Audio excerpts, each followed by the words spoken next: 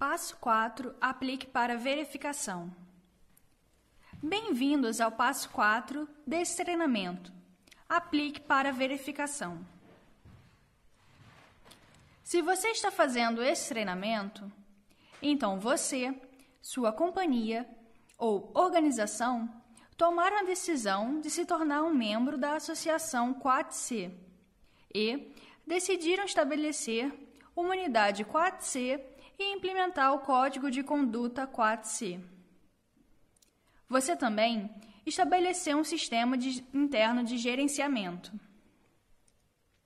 Isso significa que você, enquanto entidade de gerenciamento, pode agora seguir para o passo 4, aplique para verificação.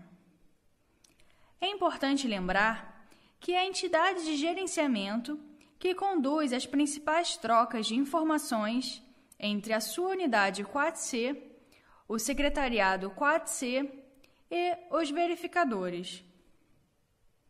Esse passo explica todo o processo de verificação, desde a preparação dos respectivos documentos de verificação até a visita de verificação e, finalmente, o recebimento da licença para vender café dentro dos padrões 4C. Começaremos com uma visão geral do processo de verificação, incluindo uma estimativa do tempo necessário para cada passo. Os passos serão explicados em detalhes conforme percorrermos esse treinamento.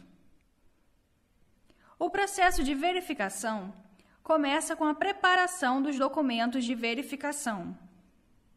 O quanto tempo isso demorará dependerá inteiramente do tamanho da sua unidade e da capacidade de gerenciamento.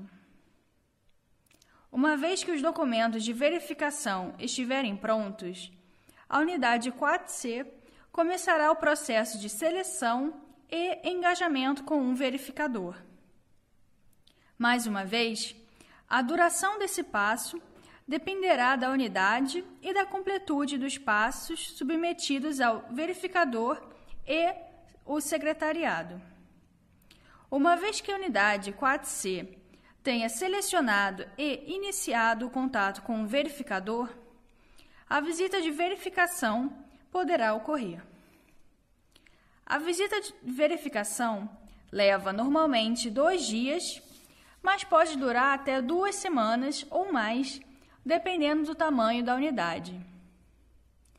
Após a visita, o verificador enviará o relatório com o resultado final da verificação para a unidade 4C e para o Departamento de Verificação 4C no secretariado. Se a unidade 4C aceitar esses resultados, o Departamento de Verificação 4C avaliar o relatório e tomará a decisão em relação à emissão da licença. Dependendo do conteúdo do relatório, a decisão poderá ser de emitir uma licença 4C para a unidade, suspender uma licença 4C existente ou outros. Em um cenário em que a unidade 4C aceita o resultado de verificação, o tempo decorrido entre o último dia de visita de verificação e a decisão em relação à licença é de aproximadamente 30 dias úteis. Agora, vamos olhar mais de perto os passos que levam à verificação 4C.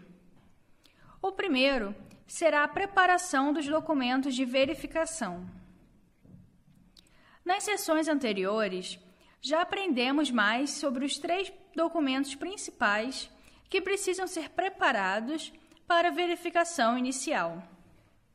Autoavaliação agregada de toda a unidade 4C, mapeamento dos parceiros de negócio com seus dados básicos e performance, organograma mostrando as diferentes funções e atores em sua unidade 4C.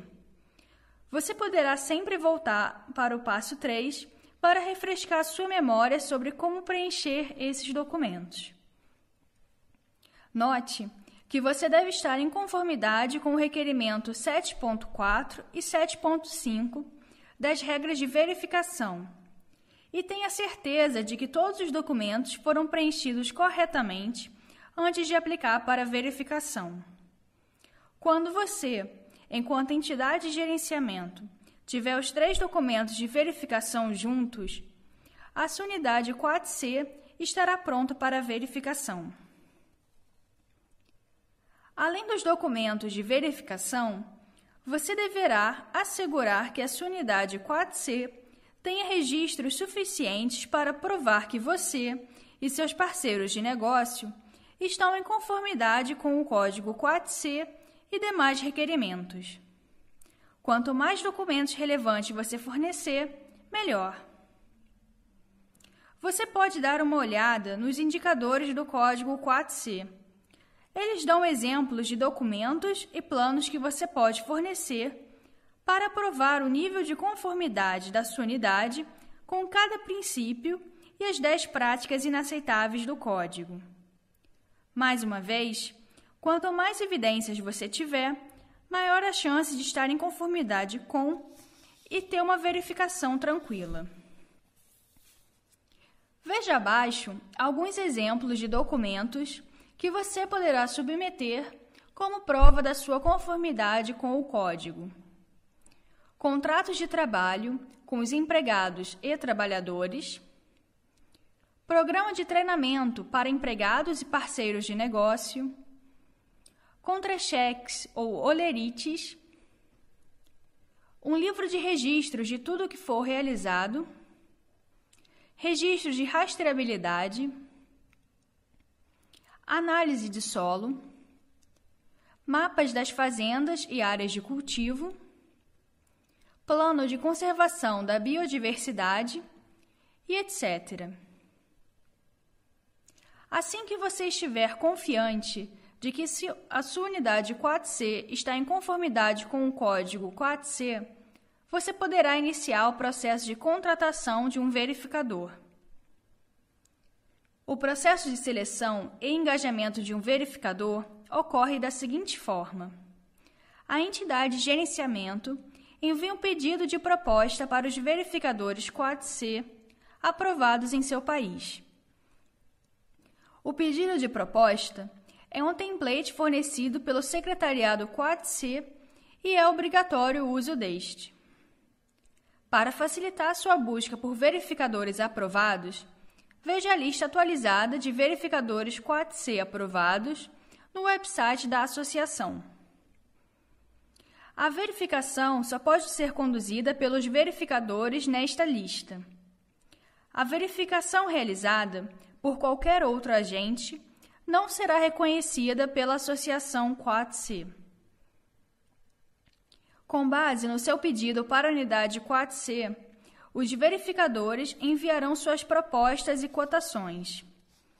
Com base nessas cotações, você selecionará um verificador e concordará com os termos e condições da visita de verificação. Assim que você tiver feito isso, você deverá enviar os três documentos de verificação para esse verificador e o secretariado 4C. Então, logo o secretariado 4C receber e revisar os documentos da sua unidade, ele designará o número de registro para a sua unidade 4C e o verificador selecionado desenvolverá um plano de verificação. O plano de verificação ajudará a unidade 4C a alocar recursos para a visita de verificação.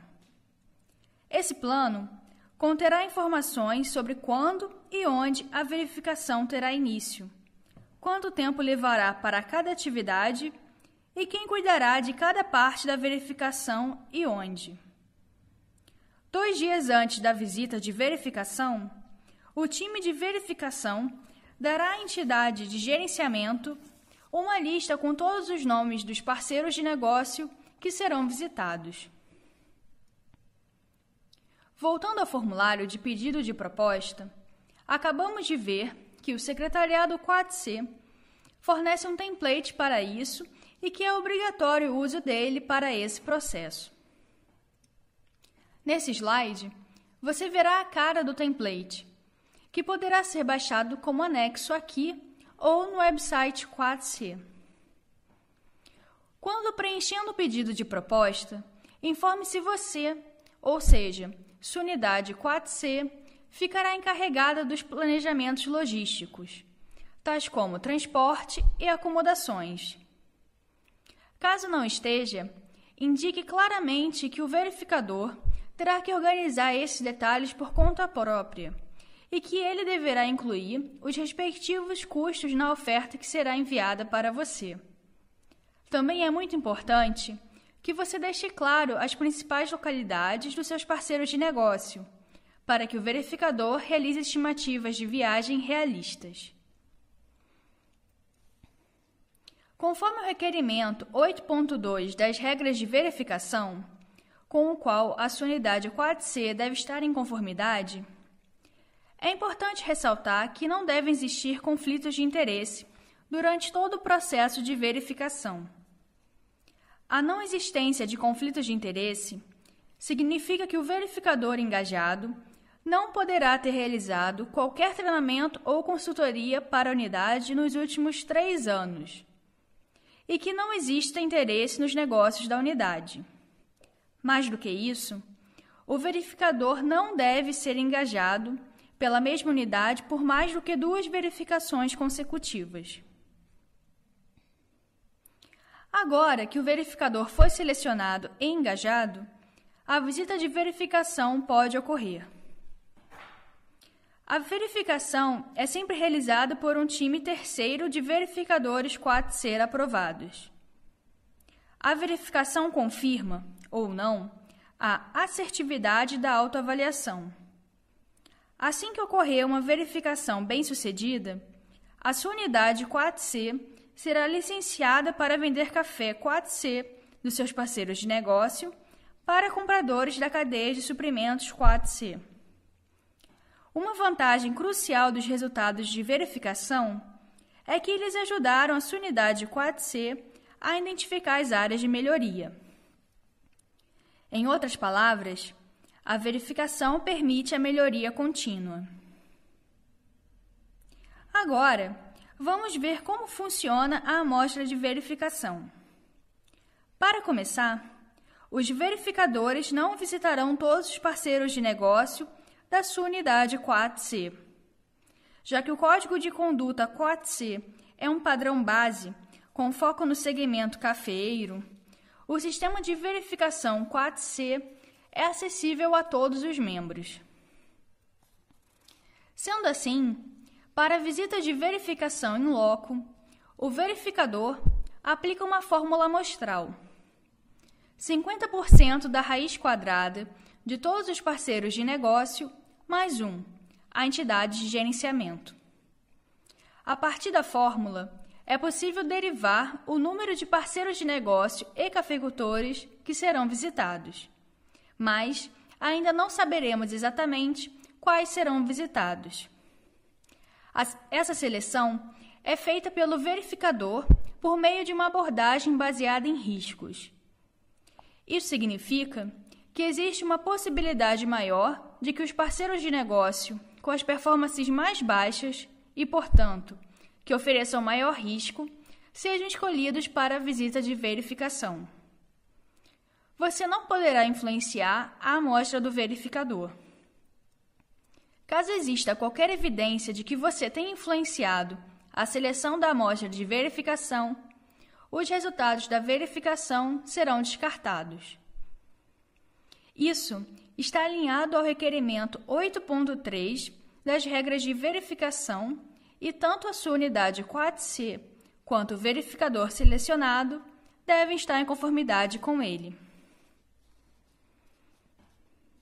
Você deve estar pensando: o que acontece durante a visita de verificação, certo? Normalmente, ela começa com uma reunião inicial de 15 ou 30 minutos. O time de verificação encontra a entidade de gerenciamento e todos os encarregados da unidade 4C. Depois, o verificador entrevista a entidade de gerenciamento sozinha e faz análises aleatórias dos documentos e registros da unidade, em busca de evidências da implementação 4C. No primeiro dia, se a entidade de gerenciamento tiver qualquer instalação ou estabelecimento, por exemplo, um moinho, armazém, etc., anexos a ela ou em seu território, o verificador poderá inspecionar esses locais e entrevistar os trabalhadores presentes. No segundo dia, o verificador e ou seu time visitarão o grupo amostral de parceiros de negócio para conduzir entrevistas. A equipe da entidade de gerenciamento deverá acompanhar o time de verificação e apresentá-lo aos parceiros de negócio, mas eles não poderão estar presentes durante as entrevistas. A duração das entrevistas dependerá do tamanho da sua unidade 4C, natureza e escopo do negócio dos seus parceiros, assim como o nível de conformidade deles. Se a sua unidade 4C trabalha com muitos parceiros, a amostra selecionada será maior, o que significa que levará mais tempo para as entrevistas e inspecionar os parceiros selecionados. Da mesma forma, se os parceiros de negócio forem grandes plantações, será necessário verificar mais princípios do código e conduzir mais entrevistas, por exemplo, com os trabalhadores dessas plantações.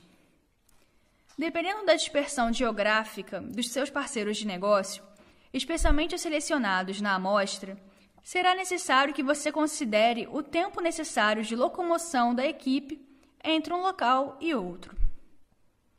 No último dia de verificação, o time de verificação realiza uma reunião de fechamento com a unidade de gerenciamento para apresentar os resultados preliminares da verificação. Conforme o requerimento 7.10 das regras de verificação, a unidade 4C deve garantir o acesso do time de verificação a qualquer informação solicitada durante a visita de verificação. Olharemos agora o processo de reporte da verificação. Após 15 dias úteis da visita de verificação, o verificador enviará o relatório de verificação para a unidade 4C e para o secretariado 4C ao mesmo tempo. A partir do recebimento, a unidade 4C terá cinco dias úteis para revisar, concordar ou discordar com os pareceres e assinar o relatório, para enviá-lo de volta ao verificador e ao secretariado. Se a sua unidade 4C discordar com a conclusão final e as recomendações do verificador para a decisão em relação à licença, será necessário que você forneça evidências que suportem essa contestação ao verificador e ao secretariado 4C. Se a unidade 4C e o verificador não chegarem a um acordo comum, a unidade 4C poderá entrar em contato com o secretariado 4C para dar início a um processo de reclamação. Se o assunto não for resolvido na instância do secretariado, novos passos serão tomados, de acordo com o procedimento e ou regulamentos do Conselho de Mediação. O processo para reclamações sobre a verificação está disponível para download com o anexo desse treinamento, assim como no website 4C. Agora que o verificador já visitou a sua unidade 4C e o relatório foi aprovado por ambos, ambos os lados, quando você recebe a sua licença 4C? Se os resultados da verificação confirmarem a inexistência das 10 práticas inaceitáveis e a performance média amarela da unidade 4C, o secretariado 4C emitirá uma licença 4C dentro de 10 dias úteis. A licença mais comum tem validade de 3 anos. Pode acontecer de você receber uma licença com validade de um ano, ou mesmo não receber a licença. Isso dependerá dos resultados de verificação da sua unidade e a forma como os verificadores avaliaram a sua performance. Note que o secretariado tem o poder de anular e sobrepor as recomendações de um verificador. Para fecharmos esse bloco, vamos rapidamente rever os requerimentos do processo de verificação. Como aprendemos no passo 3, as unidades 4C devem submeter os documentos de verificação para a verificação inicial.